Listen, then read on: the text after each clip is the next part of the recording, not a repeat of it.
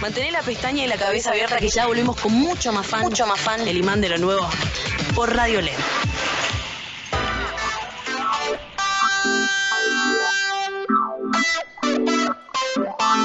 Y en el mes donde el mundo occidental, tuitero y de los medios de comunicación conocen oficialmente al terraplanismo, Netflix sacó, Gino, un documental del palo, ¿sí? que se llama Behind the Curve, o en castellano es un poco más, te diría hasta violento, Es como muy le pusieron, violento. más plano que un encefalograma. Estamos hablando de un documental referido al mundo del terraplanismo. Eh, nosotros tenemos un amigo que ya eh, ha pasado varias veces por este programa, que es Irulanducci. Referente. Un referente Aparte total amigo. de este palo que además eh, cada vez que estuvo causó muchos problemas ¿sí? Eh, a nosotros y a la gente en general. Mucho bardo en Twitter. Mucho bardo Es en una Twitter. persona que genera eso. Fu- eh, fuimos trending topic, en fin, la verdad que es una discusión interesante para seguir dando esto de la tierra plana, la tierra no plana, la tierra esférica y tal. Amigos amigas, tenemos el privilegio y la simpatía de saludar a Mark Sargent, sí que es el investigador, youtuber, terraplanista, referente de esta movida, que además es el protagonista, decíamos, de este documental de Netflix llamado Behind the Curve. Está Mark Sargent, norteamericano, ahora mismo no sé qué hora es en Estados Unidos, pero... Depende de la costa. Ah, depende de la costa. Bien, seguramente eh, son unas cuantas horas de diferencia. Está en Seattle, creo, así que. ¿Cuántos son? Vos y que- Cinco horas menos. Cinco horas. Ah, perfecto. Está Está, joya. está amigable. Está Mar Sargent de otro lado, Gino. Lo saludamos. Hi, en Los Mark. Ángeles, dice, ¿eh? En. Los Ángeles, Ahí ok. está. Hi, Mark. Hi, guys. Going here, Gino and Erlan. Hi, how are you? Hola. Are you there? I am Mark? here. I am here. Hi there. You hear me? Yeah, mm, yeah, a little bit cut it, but yeah. How, how's everything going? Everything is going Everything good. is going uh, good. I'm, I'm. Thank you very much, by the way, for having me. I've never done a radio thing in Argentina before. Cool. Thank you for taking the time talking with us. Yeah, yeah, happy to do it. Dice que es la primera vez que habla en radio para la Argentina, que está muy contento y que todo está muy bien. Che, ¿qué quilombo se está armando, Gino, con el terraplanismo, con, con este pibe Mar Sargent? eh? ¿Cuándo empezó él a, a- a creer que la Tierra es plana? Vamos, vamos por el principio de esta historia. So, all right, let's start with a real straightforward question. When did you start to think that the Earth was flat? I started to think the Earth was flat in about 2014 when I looked at some videos online and thought they were silly. I thought they were stupid. And then I looked into it, and the longer I spent looking at it, the worse it got to where in 2015 I made a series of videos and said, okay, I can't prove the globe anymore. How's that? Ok, muy bien. So, ah, dice que en 2014 empezó a ver una serie de videos online que le parecían muy estúpidos Ok. y que en algún momento, por mitad del 2015, se empezó a dar cuenta de que en realidad no podía probar que la Tierra era un globo. Ok. Y él Lo dijo, medio bueno. lo que nos pasa a todos, ¿no? Pero él cree, pero, Yo no llegué hasta ese punto, pero sí. pero pará, acá hay, hay un dato, hay un dato interesante. Él pensaba que esos videos eran estúpidos. Claro. Ok. So, you were an anti-flat earther. Yes, everybody is an anti-flat earther to start. Everybody. Nobody likes flat Earth. Uh, that, in fact, the T-shirt should read, "I became a flat earther because I tried to disprove flat Earth." Ok, le preguntaba si era un anti-tierra plana y me dice, todo el mundo es un anti-tierra plana. Nadie, nadie piensa que la Tierra es plana de movida. De hecho, tendríamos que tener una remera que dice, eh, yo pensaba que la Tierra, yo soy un tierraplanista porque empecé a no poder probarlo. Ok, la premisa de, de estas notas siempre es la duda, ¿no? Sí, lo sí, hablamos claro. mucho con Iru Landucci, como bueno, pararnos en el lugar de la duda, que es lo que más discuten también los terraplanistas. Pero, ¿cuál es la explicación más sencilla al terraplanismo? Hoy una chica me decía, bueno, pero ok, ¿por qué dicen que la Tierra es plana? Y no le supe explicar. ¿Y cómo, no? Que es un poco lo que nos pasa a todos, Gino. Sí. Pero bueno, ¿cuál es la explicación más sencilla al terraplanismo? Bien. Ok, Mark, so let's do a small exercise. Explain us, like, we were five, how's the Earth and the universe in less than three minutes? Like, the real, the, the truth. The the Earth and the universe in three minutes, and you can't you can't see me on video, right? I have to explain this audio. Uh, we can, but our audience cannot. But you guys, okay. So the the Earth would be like a dinner plate. It'd be flat and it'd be circular. Uh, the North Pole is in the center. The continents are spread out around the North Pole, and the entire outer edge is Antarctica. And the sun and the moon are inside a dome. So the whole thing's covered with a dome, and the sun and the moon and the stars and the planets are all just lights on the ceiling. How's that? All right. So, bueno, esto es increíble. I'm, I'm doing short answers so you can translate, but if you want me to elaborate, I can. I totally get it. De- bueno, entonces dice esto es muy simple. Ah, muy simple. La Tierra es como un plato, Ok. ¿sí? Plana, Ok. llana y circular, Ok. ¿sí? Sí. El polo norte Mm. está en centro. ¿Por qué el polo norte y el polo sur? Bueno. Ok. El polo norte está en centro. Ok. Alrededor están los continentes. Sí. Alrededor de los continentes, como si fuera en el, en el borde Mm. del plato, está la Antártida. Mm. Y arriba hay un techo, que es como un domo. No, no, no, no, no. ¿Cómo un domo? Y el sol y la luna y las estrellas y el planeta son luces. Ok. Pero para, ¿el domo quién lo hizo? So, who, who made the dome? Who put the lights in the ceiling? Se ríe, Marta. Okay, ¿eh? who who who made the dome? Uh, there can only be one of two answers: either an advanced civilization that is way older and stronger than us, or the divine, God. Take your take your pick. Ah, ah, hay una respuesta que mezcla religión de repente, me parece increíble. A Eh, ver.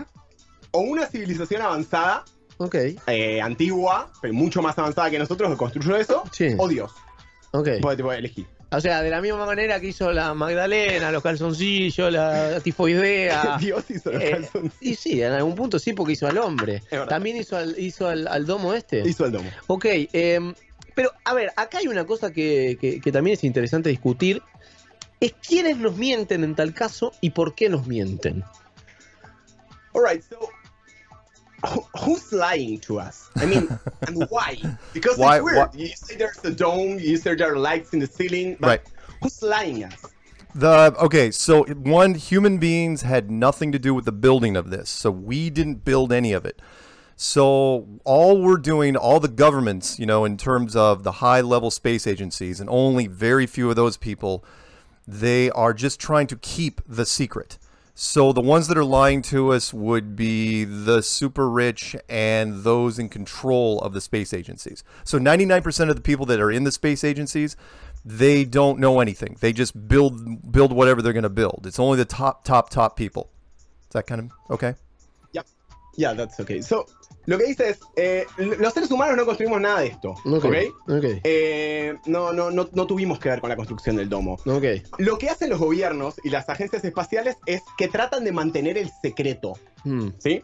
Entonces, los que controlan esta verdad son los súper ricos, los súper poderosos. Sí. Y dice que en las agencias espaciales el 99% de la gente que está dentro Sí. no sabe esto.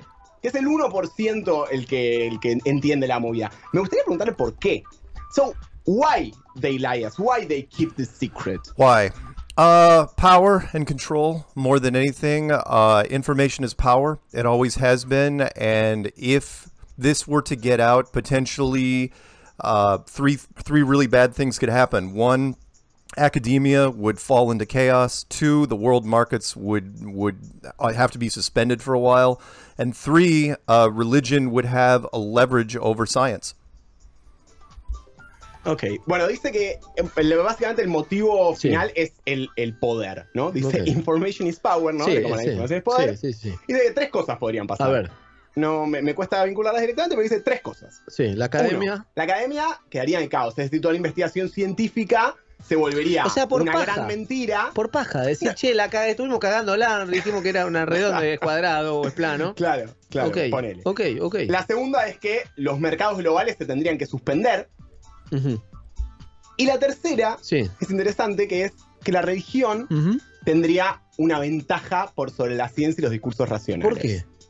Why the religion uh, could be like in, in advance or in a better position than the science? The religions is like they don't really talk about flat Earth. Well, but they are now, uh, and the reason the the reason why religion would be in a great position is because remember, science has been hammering them, has been hitting them really hard for the last 500 years with all their textbooks, and all of a sudden, religion can now come back and say, okay, well. You were wrong about something really, really important. So, what else are you wrong about? Are you wrong about evolution? Are you wrong about the Big Bang Theory? Are you wrong about everything in space? That's a that's a big blow to science. Alright, totally got it. Entonces, lo que dice es, Sí. eh, la ciencia, o sea, primero dice, bueno, las religiones van a empezar a hablar de esto, porque si la ciencia queda probado que una investigación tan profunda y una, una entre muchas comillas, verdad tan construida es errónea, Sí. entonces la religión puede empezar a preguntarle a la ciencia, bueno, ¿y, y en qué más te confundiste? ¿En la Ah. evolución?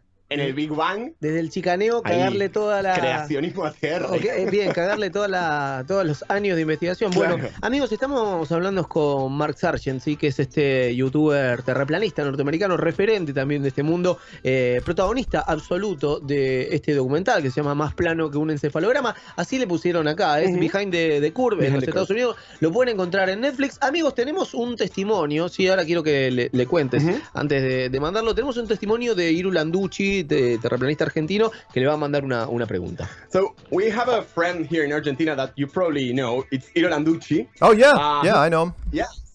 So he has a question for you. Uh, it's recorded, but here. Okay. Ok, escuchamos el audio de Iru Landucci. Hola, Eru. Te habla el Coco. Bat- Ah, no, No, no, no, no. That's not, that's not Aru. ¿Qué pasó? ¿Es, no, ese No, no, no, no. that's not Iru. Ok, ok, ¿qué pasó? Ok, muy bien. Está escuchando Iru Landucci, ¿eh? dice que lo explica muy bien, que explica muy bien el tema, quiero que le cuentes a, a Mark. Okay, so Iru is actually it's hearing us now. Uh, it's it's uh, listening to the show. Uh, we're like finding the audio. Uh, we have a very Okay. long thread of conversations with Iru, so probably it's lost in in the in the messages. Oh, don't de paso, quiero preguntarle qué, qué opina Mark del documental de Netflix, porque la premisa también es un tanto polémica, o cómo los deja a ellos parados es un poco polémico. Quiero preguntarle del producto final y qué opina del documental. Okay, so what do you think about Behind the Curve? I mean, the, the documentary, the title, the, the position, and the depiction that they, they do of the flat earthers. E- Behind the Curve was exactly what I predicted it would be. Uh, flat earthers hate it because we don't like dissenting voices. We don't like seeing scientists and astronauts. Uh, and but everybody outside of the flat Earth community thought it was very, very interesting, and it has boosted our ranks and become a very powerful recruiting tool for us. Bueno, interesante lo que dice. Eh, que el documental fue exactamente lo que él creía que iba a ser. ¿sí? Y que por un lado, los que ya eran terraplanistas se sentían un poco incómodos porque decían, bueno, tipo, al fin y al cabo nos ponen un montón de científicos y tratan de probarnos que, que estamos mal y erróneos y qué sé yo. Pero lo cierto es que desde la salida del documental se convirtió en una herramienta muy poderosa de como de, de, De llamar- captación claro. gente para el terraplanismo. Entonces que en realidad, dice, para él fue, estuvo bien desde ese lugar. Me gusta, me gusta la, po- la postura que tiene. ¿eh? Mark Sargent es con quien estamos hablando. Está Iru Landucci escuchando, así que le mandamos un beso enorme, referente absoluto de este tema, que siempre se lo trata también con, con mucha pasión, Iru, Sí, todo este sí, tema. ¿eh? sí. Eh, quiero preguntarle, porque hay una cosa que, que se repite también en el documental, que hablan de la Tierra plana con, con un fin, ¿no? Como que, que tiene como un borde, que tiene un, un registro hacia la nada, como un vórtice o un risco, ¿no? Pero, ¿qué hay después de ese risco? ¿Qué hay después de ese borde? ¿Qué hay después de ese límite en la Tierra plana? So you are saying us that uh, in the like in the in the border of this uh, flat dish or or well flat disc, Yeah. there's those those great walls of, of ice that mm, probably is the the Antarctica. What's what's beyond them?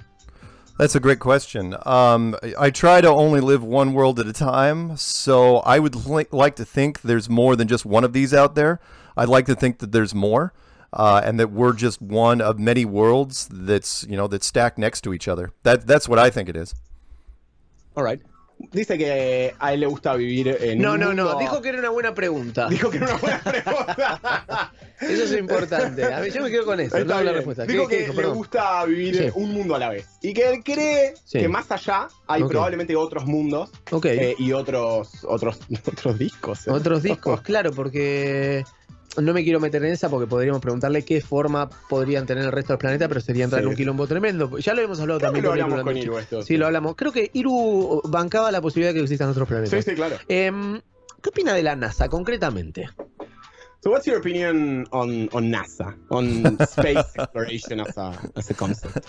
Don't don't believe anything the Americans say when it comes to space. That that's the first thing. And uh, yeah, NASA is absolutely a lie since minute one, since they were formed in 1958.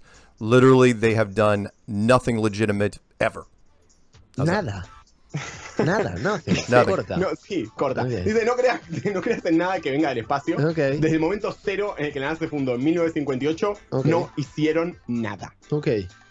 Cortita, eh, Corta, sí, o, no tengo- sí o- sí o no puede ser sin argumentación. ¿Creen en la llegada del hombre a la luna? All right, so it's a yes or no question. Do you, do you believe that uh, we made to the moon? no. no. No, no, no, nobody's gone to the moon ever.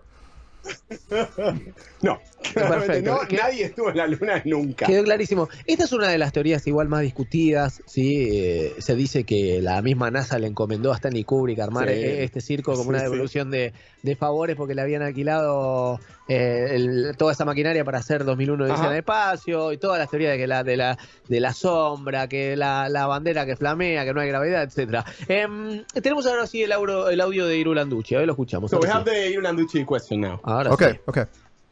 Hello everyone, here. Irulanducci, a flat earth from Argentina. Ok. Uh, I can say a friend of Mark Sargent. Uh, I hope you, he remind me. Uh, I know him very well. Uh, we have some picture and we share some time in the Flat Earth conference. Sí. So it's a pleasure to uh, have Mark Sargent in the in Argentina radio, and of course I like to say hello to Mark and also uh, propose to um, share with the audience the challenge that he made about the astronaut suit in the vacuum chamber. Oh, right. So a pleasure, Mark, to be uh, in fun, and uh, I hope you see you in the next uh, conference, Flutter conference in Dallas. En Dallas. ¿Qué, qué, qué preguntó? Ok, preguntó eh, por una anécdota sobre eh, un traje de astronauta en una cámara de vacío. Ok, ok, ahora sí para, para Mark. All right, so could you explain a little bit that? Yeah, yeah, yeah. The challenge. Now, if I paste this in, can you guys see the text that I'm going to read real fast? Can you? Or Uh, you can't see that. Not really. No. not That's all really. right. That's all right. Because you're, you're being piped through. Okay, the challenge is like this. Um, it's my personal declaration of war against mainstream science. I, Mark Sargent, put forth the challenge to any university to loan me a self-contained spacesuit, an astronaut suit, put me in a vacuum chamber, and pull the switch, and find out what happens. Do I live or die? Uh, and I made a video on this called Flat Earth Clues Part 13: The Lost Nail. All right. Bueno, dice que él eh, le planteó un desafío a todas las universidades del mundo. Sí. ¿Sí? Que es A todas, a él, a Mark. Sargent, tipo Sí. Mark Sargent va a tu universidad, se Sí. pone un traje del espacio, imagínate un traje del espacio acá en la UBA, tipo, no debe haber, creo. Se Ojalá pone- que sí. Ojalá, pero no creo. Se No, pone un traje no. espacial, Sí. lo meten en una cámara de vacío Sí. y prenden el switch, o sea, prenden la cámara de vacío. A ver qué pasa, si él vive o él muere. Ok. Okay, why? You're probably asking why. Como, why? Sí. Okay, Yeah. okay. So uh, it's because the spacesuit cannot do what NASA says it does. There is no spacesuit that has any technology that can stop the vacuum of space. Meaning, pressure needs a container, and if the container is soft, like a spacesuit, it'll go rigid, and the, the astronaut won't be able to move, and then eventually the suit will just burst and we never ever see that. And so it's like, fine, show me one of these freaking spacesuits. Show me a spacesuit and put me in a vacuum chamber and show me it does what you says it does on television. Basically, do not believe anything the Americans show you on television.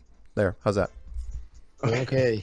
Dice, eh, o sea, el motivo por el cual quiere hacer esto, después Sí. dice, los trajes, estos trajes espaciales que la NASA te vende como trajes espaciales que se bancarían en el vacío del espacio, no son, o sea, no son así, no podría pasar. El traje tendría que ser demasiado rígido y simplemente con la presión del vacío explotarían y se morirían. Entonces lo que él dice es poneme a mí ahí, o sea, le está poniendo su, Ah, su cu- a- cuerpo a- a la al causa. servicio de la causa para ok. ver qué pasa. Parece que por ahora nadie... Bien, did, you get, did you get any response from any university? No, no, no, no. Okay, They no. they will not do it. Uh, they can't. Uh, the the it, it it violates the second law of thermodynamics. Uh, pressure needs a container, and the the spacesuit cannot do what it says it does. And therefore, if the spacesuit is a lie, then everything that shows the spacesuit is also a lie. And that's why I made Okay. the video. Alright. Le preguntaba entonces eh, si, si, bueno, si alguna universidad le respondió. Me dice Sí, que no, sí. eh, que básicamente viola la segunda ley de la, te- de la termodinámica, que es que la, el- o sea, la presión necesita un contenedor eh, entonces que no lo van a poner porque básicamente explotaría y quedaría comprobado que nada de eso eh, es cierto. Está en su video número 13 en el canal de YouTube. Bien, Can, me can- gusta. wait, can, que- can I can I chime in for one second? Here, like Yeah. here's Yeah. A, here's a great little example for you guys. So you guys uh, play football, right? You know, and the and the football Sí, has yeah, air yeah. inside it, Sí, nos gusta el fútbol, sí. right? Right. So it's it's hard. You you know you can't burst it. You know it's really hard when you put your hands against it. The spacesuit should be exactly like that. A football. Once there's air, once there's a difference in pressure between the outside and the inside, it should be extremely tight. And that's what what a spacesuit does. A spacesuit is really really loose. It can't be. It's got to be like a football. All right. Dice que un experimento muy claro sería agarrar una pelota de fútbol. La Sí. pelota de fútbol está rellena de, de aire. Sí. es muy difícil como apretarla y disfrutarla. Imagínate eso en un entorno como el espacio, en donde la presión es mucho más fuerte. eh, el, el traje no soportaría eso y de última, o explota vos o explota el traje, digo, alguna de las dos. Siempre es interesante escuchar qué tienen para decir lo- los terraplanistas. Siempre es interesante también discutir todas las ideas posibles. Hablando con Mark Sargent, surge también la, la- por ahí la, la- la- la intención de buscar y rascar un poco más. Eh, búsquenlo en YouTube, lo pueden encontrar, obviamente. Buscan Mark Sargent y se suscriben a su canal. Quiero, estamos apremiados bastante con el tiempo, pero quiero hacerle dos preguntas cortitas. En realidad quiero que me defina dos personas, dos personajes del mundo de la, de la ciencia. Uno es el chabón de Cosmos. ¿Qué opina? Como en un tweet que me diga, bueno, el chabón de Cosmos tal cosa. Y Scott Kelly, alguien a quien entrevistamos, sí, que es un astronauta muy prestigioso, hombre histórico también, que entró en la, la historia moderna por estar, creo que 500, 500 días, días. eh, En el espacio, que es un, es un astronauta de la NASA. Eh, ¿Qué opina de estos dos personajes de la ciencia en concreto que nos defina a los dos personajes como en un tweet? Seguro nos va a dar polémica, seguro. so our tiny time is running up. So I would like a small definition, like in a tweet, of Scott Kelly and Neil deGrasse Tyson. Okay, Scott Scott Kelly is a colonel in the United States military, and he will follow orders, even if those orders aren't you know aren't the greatest thing in the world. He will follow orders. He's a colonel in the United States military, so he cannot be trusted. And Neil deGrasse Tyson can kiss my ass. He is a puppet for the science community. All he does, he's a jack in the box. All he does is go around universities and say that space is amazing. That's all he does, and he never will debate anybody. How's that? Eh, bueno, definiciones muy concretas. Scott Kelly es un coronel del ejército. Sí. Con lo cual sigue órdenes. Entonces Sí. no podemos confiar en él. Ahí se apichonó un poquito. Ahí como sí. Eh, bueno. Y Neil deGrasse, de Neil deGrasse Tyson dice, Sí. me puedes al culo. ¿Sí? Así, literalmente, básicamente lo que hace es ser una marioneta Uh. de eh, como la, la, la comunidad científica Sí. que va por las universidades haciendo chistes y diciendo que el espacio es algo genial. Ok, le queremos agradecer muchísimo esta comunicación que ha tenido con nosotros. Mark Sargent, decíamos, investigador, youtuber, terraplanista. Lo pueden buscar a él en YouTube, pueden ver también el documental que, como él decía, da también espacio a la discusión y a la divulgación de esta idea, así una idea que viene a, a contrariar y ir a contramano de eh, toda la ciencia tradicional. Le agradecemos mucho a Mark esta gentileza. All right, Mark. Thank you so much. It's been a pleasure to have you here. Thank you, Uh, guys. Some interesting ideas. Thank you very much. Bien, Bye, bueno, ya. bueno, le agradecemos mucho. Eh, Mark Sargent, entonces, terraplanista, le mandamos un beso grande a Iru Landucci que hizo la pregunta en inglés.